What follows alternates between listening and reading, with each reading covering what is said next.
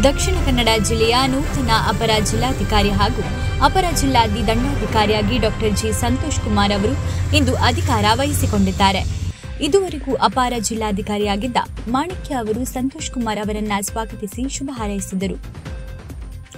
ಸಂಪಾಜಿ ವಲಯದ ಡಬಡ್ಕ ಗಟ್ಟಿಘಾಟ್ ಮೀಸಲು ಅರಣ್ಯಕ್ಕೆ ಅಕ್ರಮವಾಗಿ ಪ್ರವೇಶಿಸಿ ವಿನಾಶದಂಚಿನಲ್ಲಿರುವ ಮಲಬಾರ್ ಅಳಿಲು ಹಾಗೂ ಹಾರುವ ಅಳಿಲುಗಳನ್ನು ಭೇಟಿಯಾಡಿ ಮಾಂಸವನ್ನಾಗಿ ಪರಿವರ್ತಿಸಿದ ಪ್ರಕರಣವನ್ನ ಸಂಪಾಜಿ ವಲಯ ಅರಣ್ಯ ಇಲಾಖೆ ಬಯಲಿಗೆಳೆದಿದೆ ವನ್ಯಜೀವಿಗಳನ್ನ ಕೆಲವರು ಭೇಟಿಯಾಡಿರುವ ಬಗ್ಗೆ ಸಂಪಾಜಿ ವಲಯ ಅರಣ್ಯ ಇಲಾಖೆಗೆ ಖಚಿತ ಮಾಹಿತಿ ಮೇರೆಗೆ ಆರೋಪಿಗಳಾದ ದಬಡ್ಕ ಗ್ರಾಮದ ಮದನ್ ಕುಮಾರ್ ಗಣಪತಿ ಬಿನ್ ಬಾಂಚಯ್ಯ ಹಾಗೂ ಪ್ರಸನ್ನ ಕುಮಾರ್ ಎಂಬುವರು ಮನೆಗಳ ಮೇಲೆ ಅರಣ್ಯ ಇಲಾಖೆ ಸಿಬ್ಬಂದಿ ದಾಳಿ ನಡೆಸಿದ್ದಾರೆ. ಈ ಸಂದರ್ಭ ಮೂವರು ಆರೋಪಿಗಳು ಪರಾರಿಯಾಗಿದ್ದಾರೆ. ಮನೆಯಲ್ಲಿದ್ದ ಎರಡು ವನ್ಯಜೀವಿಗಳ ಮಾಂಸವನ್ನ ಪಾತ್ರೆ ಸಹಿತ ಹಾಗೂ ಕೋವಿಯನ್ನ ಅರಣ್ಯ ಇಲಾಖೆ ವಶಕ್ಕೆ ಪಡೆದಿದೆ. ಆರೋಪಿಗಳ ವಿರುದ್ಧ ವನ್ಯಜೀವಿ ಸಂರಕ್ಷಣಾ ಕಾಯ್ದೆಯಡಿ ಪ್ರಕರಣ ದಾಖಲಿಸಿಕೊಂಡು ತನಿಖೆ ನಡೆಸಲಾಗುತ್ತಿದೆ ಎಂದು ತಿಳಿದುಬಂದಿದೆ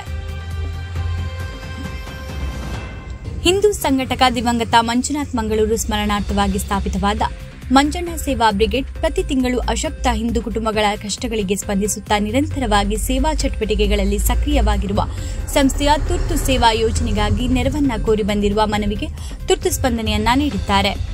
ಪ್ರತಿ ತಿಂಗಳಂತೆ ಈ ಸಲ ಒಟ್ಟು ಐದು ಕುಟುಂಬಗಳಿಗೆ ಆರ್ಥಿಕ ನೆರವು ನೀಡಿದ್ದು, ಅದರಲ್ಲಿ ಮೂರು ಕುಟುಂಬದ ಮಕ್ಕಳ ವಿದ್ಯಾಭ್ಯಾಸಕ್ಕೆ ಹಾಗೂ ಎರಡು ಅಶಕ್ತ ಕುಟುಂಬಗಳಿಗೆ ಚಿಕಿತ್ಸಾ ವೆಚ್ಚಕ್ಕಾಗಿ ಆರ್ಥಿಕ ನೆರವು ನೀಡಲಾಗಿದೆ. ಒಟ್ಟು ಒಂದು ಲಕ್ಷಕ್ಕೂ ಅಧಿಕ ಆರ್ಥಿಕ ನೆರವನ್ನ ಗಣ್ಯರ ಸಮ್ಮುಖದಲ್ಲಿ ನೀಡಲಾಯಿತು.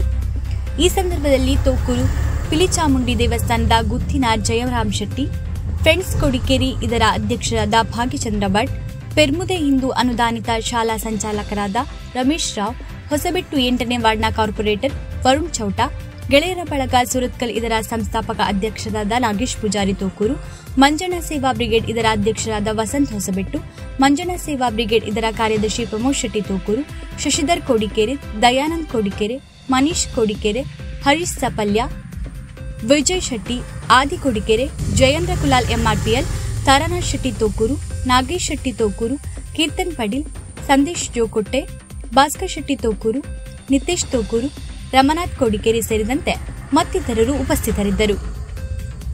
ರಾಜಧಾನಿ ಬೆಂಗಳೂರಿನ ಅಮೃತಹಳ್ಳಿಯಲ್ಲಿ ಭೀಕರ ಜೋಡಿ ಕೊಲೆ ನಡೆದಿದ್ದು, ಏರೋನಿಕ್ಸ್ ಇಂಟರ್ನೆಟ್ ಕಂಪನಿಯ ಸಿಇಒ ಹಾಗೂ ಎಂಡಿಯನ್ನ ಬರ್ಬರವಾಗಿ ಹತ್ಯೆ ಮಾಡಲಾಗಿದೆ.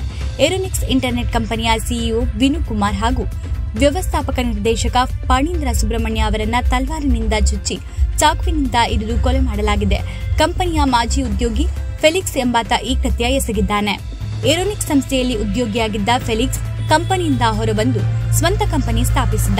ಈ ಉದ್ಯಮಕ್ಕೆ ಪಣೀಂದ್ರ ಎದುರಾಳಿಯಾಗುತ್ತಿದ್ದಂತೆ ಇದೇ ಕಾರಣಕ್ಕೆ ಫೆಲಿಕ್ಸ್ ಪಣೀಂದ್ರನನ್ನು ಕೊಲೆ ಮಾಡಲು ಸಂಚು ರೂಪಿಸಿ ಏರೋನಿಕ್ಸ್ ಕಂಪನಿಗೆ ತೆರಳಿ ಪಣೀಂದ್ರ ಹಾಗೂ ವಿನುಕುಮಾರ್ ಅವರನ್ನ ಹತ್ಯೆ ಮಾಡಿ ಪರಾರಿಯಾಗಿದ್ದ.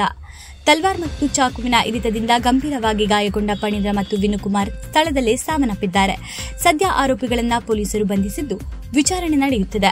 ಪ್ರಕರಣದ ಹೊಸ ತಿರುವು ಪಡೆಯುತ್ತಿದೆ ಎಂದು ತಿಳಿದುಬಂದಿದೆ ತಲೆದಿಂಬು ಹಾಗೂ ಹಾಸಿಗೆ ತಯಾರಿಕಾ ಫ್ಯಾಕ್ಟರಿಯೊಂದಕ್ಕೆ ಬೆಂಕಿ ತಗುಲಿ ಲಕ್ಷಾಂತರ ರೂಪಾಯಿ ನಷ್ಟ ಸಂಭವಿಸಿದ ಘಟನೆ.